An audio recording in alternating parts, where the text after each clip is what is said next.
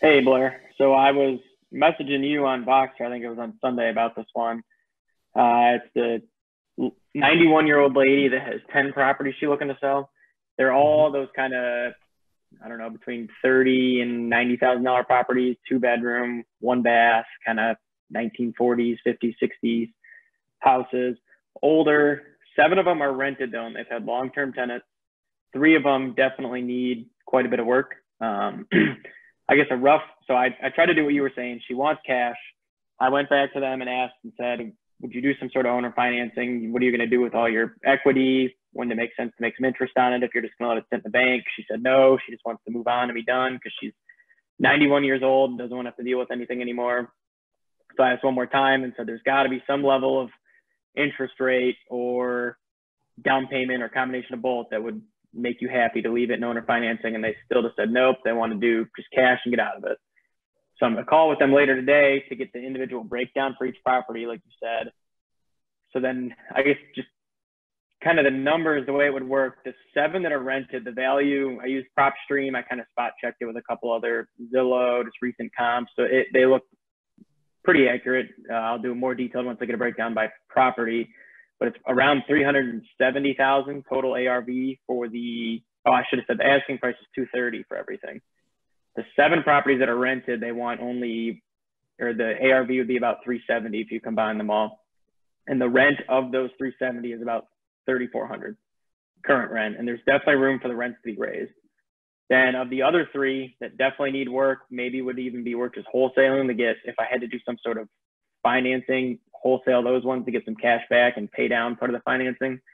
Those have ARVs of about 230 combined between all of them. But like I said, they need some work. One of them had a fire, so one of the rooms is destroyed. The other two are just very, very old and worn out.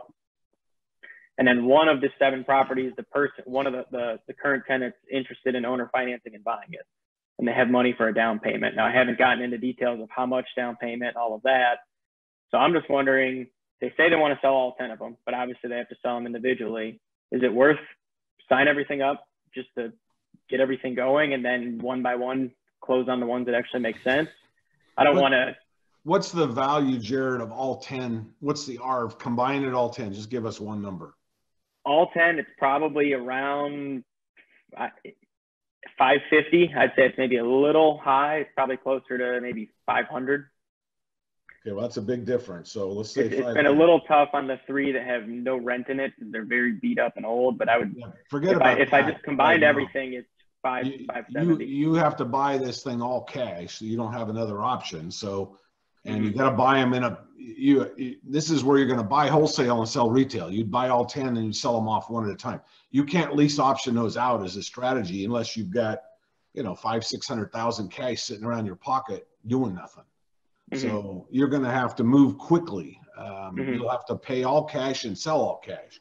So for 500,000, how much repairs do you think combined are needed on all the properties? 100,000? On the, the seven that are rented, it, for, for all of them, probably, yeah, 100,000. The seven that are rented are very little. People have lived there for five, ten years. You could probably do a little bit of cosmetic work, but none of them are complaining. None of them really need anything done. Now, the three that don't have tenants, definitely would need yeah, I mean, a hundred thousand would probably be a rough estimate worth of work. So the max you can pay for all 10 is 200,000 total. Okay. Based on, you know, these current formulas. Okay. Uh, and how much does she want for all 10? 230. You're pretty close. Okay. Yeah, you're not that far off. You're pretty close. That, that could be a decent deal, especially if your 500 is off. If it was 550, uh, let's just run the numbers yeah, you're you're dead nuts on. Exactly, 230. So based on prop stream, it's close to about 570, but I think a couple of them are a little high. So that's why I'm guessing closer to maybe 500 to 530 range. You, you that's a pretty good deal. Okay. Um, that's that could be a really good deal. You could but buy those things and sell them individual contract for each one still though. Your leverage is in doing them all together. You could do individual do contracts. In- what I would do is I'd enter in a contract for the full 230 for all 10 of them with a clause that allows you to close them individually okay. on a prorated basis. would I use the same standard contract that you guys have, the purchase agreement one? Yeah, Okay. And you would just list all ten properties in there and then, list all 10 and then say, you know, you're allowed to close them uh, separately on a prorated basis. So if all 10 of them for 230,000, it means for 23,000 a house, you can close each one. okay. And then Is that the way to- Try and sell them. Easiest way to do it, just say twenty-three thousand for each one or would have them broken out individually priced or? Yeah, I mean, you could, but just, you can use the word prorated, which is the same thing without getting detailed. If you're dealing with an older seller, they, they're looking for that 230 number probably. That's what they're Yep. looking for. Okay, Yeah, that's so exactly that's what what you're gonna put on the contract. Um, And then are these the kind of houses that, um, you know, first-time home buyers would like to live in? Um, probably, but I mean, it's a, it's a very small town, so you probably don't have a ton of new people moving there buying the houses. It's like a thirty thousand person town. And uh, how much does each one rent? You said what, four, what was the total? Between, between 400 and 600, but the total for the seven that are rented is 3,400 right now. There Okay. is room to raise rent, and the lady I've been working with said the tenants are aware that rent will probably need raised. I guess the old lady hasn't raised rent on them in 10 years. They've just been living there without any rent increase. I don't know if I necessarily go raise it 200 and scare them away, but there's definitely, and they understand there's the rent will be raised a little bit. Yeah, you're probably looking at, eh, let's say you got it up to five thousand bucks. That's a heck of a rental too. Um, Yeah. This, this one, you're, you're hitting all green lights, Jared, on Yeah. both selling it for cash and then going out and getting a loan and keeping it as a rental property. This, and then Okay. selling that. Um, you've got a ton of options on this deal. So just get it signed up as soon as I can, pretty much. Yeah. That's what I would do. This is a good one. Everybody should pay attention to this one. This one meets all the criteria for just about everything. I'm wondering, I don't want to push my luck. I don't think I would, but trying to get the number down even a little more because they came down from originally 242 to 230 without me even asking.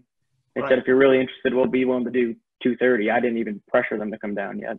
Yeah, uh, I'd put the put the boots to them, try and get it at 200 or less, but even at 230, it's a good deal. Okay.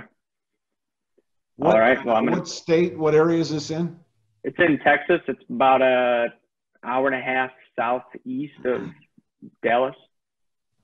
So it's not in the middle of nowhere, but it's it's it's about an hour out of like the big city area, hour and a half.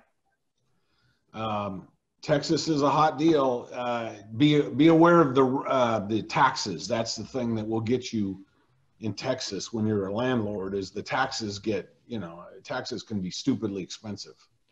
Okay. Um, but this one, I mean, you could sell the whole package to a Texas landlord.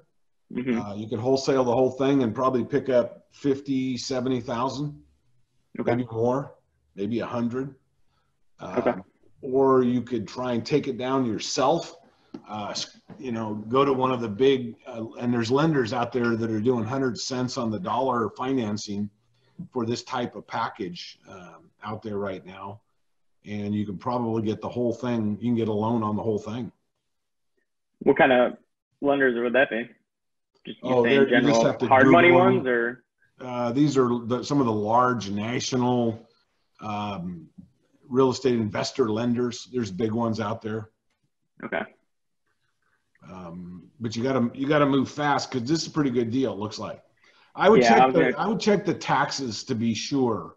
You gotta Okay. be careful, like I said, because in Texas, I mean, I, I've seen taxes on a twenty thousand dollar house be four hundred dollars a month. Okay. Uh, it's ridiculous. Uh, You've got to, it just depends on the community, you know, Okay. and are they paying for all their school district? And I remember Texas doesn't have uh, income tax. They Mhm. make it all on property tax. So, um, Okay. But Yeah, I'm gonna try to get it all signed up this afternoon when I call them, probably here in two hours or so. and you could probably, um, you know, get it under contract and then, uh, you know, go in the group or, or Vox us. I can get you hooked up with a friend of mine who can get these things probably sold for you quick to another investor. Okay, cool.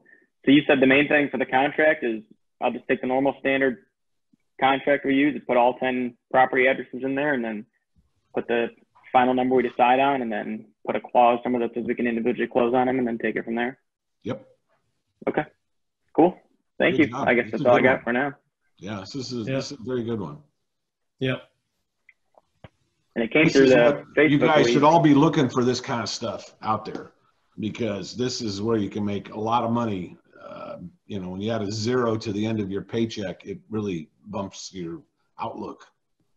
You know, you're gonna have a smile at the end of each day. So it's, it's nice to get the, you know, hundred thousand dollars instead of the ten thousand dollar paychecks. Yeah.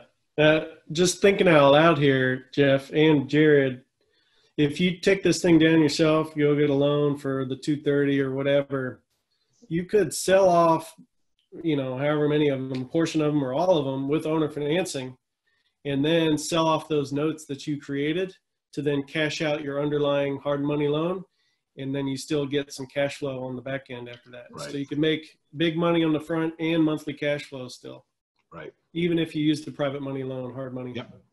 Yeah, you can do it.